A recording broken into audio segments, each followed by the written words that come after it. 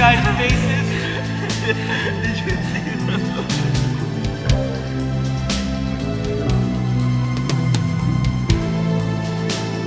When the ship docks, I'm getting off with you. This is crazy. I know.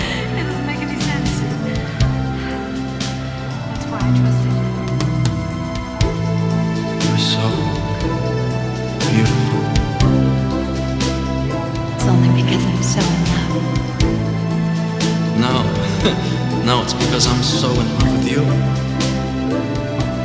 So love has blinded you. Well, that's not exactly